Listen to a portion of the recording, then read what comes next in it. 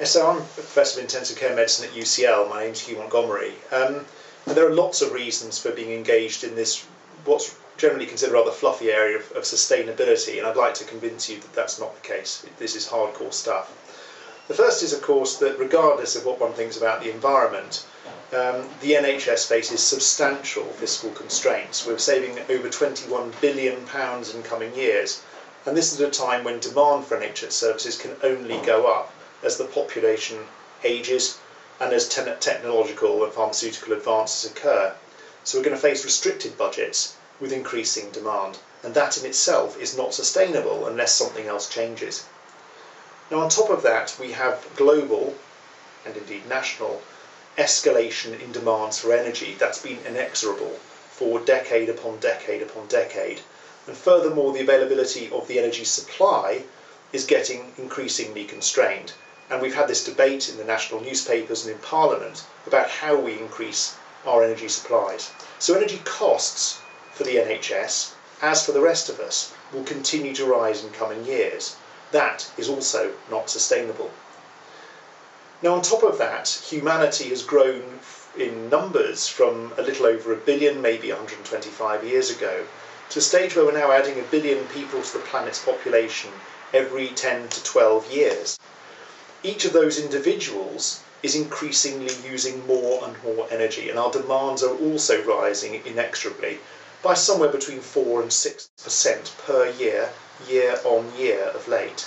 And this is requiring the burning of a vast amount of fossil fuels. And it's interesting to know that it's only a little over 150 years ago that the first oil well was ever uh, drilled, and that was only 67 feet deep.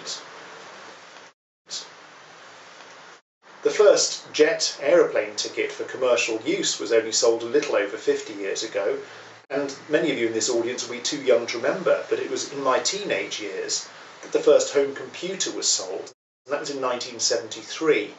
But we now have well over 4 billion passenger flights taken every year, and if one just looks at light bulb use, 126 new light bulbs sold every second in Europe alone. Burning all this fossil fuel is driving up carbon dioxide concentrations in the atmosphere, and that is leading to what's known as global warming. And that sounds rather pleasant, but actually it drives weather instability, and no one in this room will be unaware of the massive increase in weather volatility that we've seen in this country.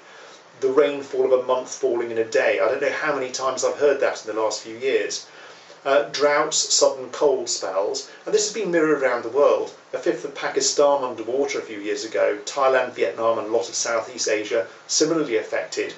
Uh, grain crop collapsing twice in Kazakhstan in the last five years, and most recently, the pressure on grain production in North, uh, North America with the droughts of last summer. That is also not sustainable. So, climate change itself threatens human health for a range of different reasons. Now, there's a good news component of this. Not only do we all have a moral obligation then to try to make our health service sustainable and to safeguard the health of our population and to save money and reduce pollution, but all of these things fit together into one neat Venn diagram. If we all save energy, reduce our pollution and our carbon footprint, that's not only good for energy and climate security, but it's directly good for health quite independently. Why? Well, the why is fairly straightforward. If one looks at low carbon living, it itself is very positively beneficial for health.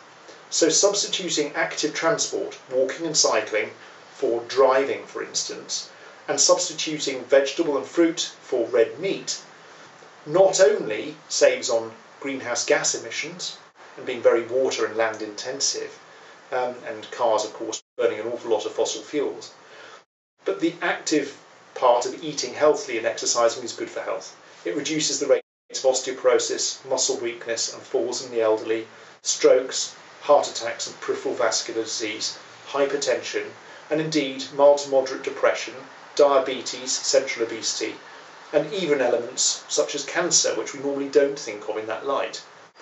So we've all got an opportunity here to make our quality of life better and to make our NHS sustainable while safeguarding the health of those in this country and around the world. Now, there are lots of ways in which you might want to engage in this agenda, and it's hopefully something that you'll be discussing when I've stopped talking. One way is to engage with your local trust.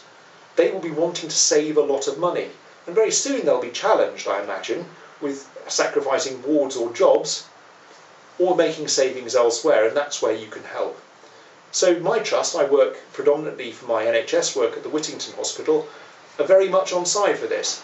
And I talked to my estates lead, and one evening at about 11.30 at night, he took me for a walk around all of the buildings off the ward. So we weren't looking at clinical areas at all.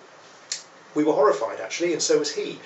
Uh, radiators left on everywhere, windows open, and we identified over 700 light bulbs in unused offices, corridors, toilets, cupboards, physiotherapy departments left on all night, and these are normally burning 24 7.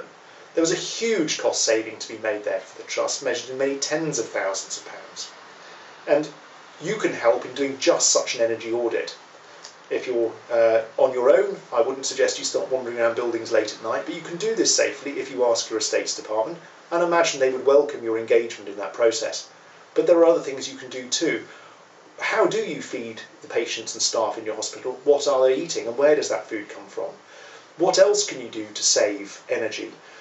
When one's procuring computers, what's the process for that? Is the green agenda at the absolute top of that procurement process? I hope you'll hear a lot more about this at this meeting, but those are all good reasons for engaging, and I wish you luck in making a difference.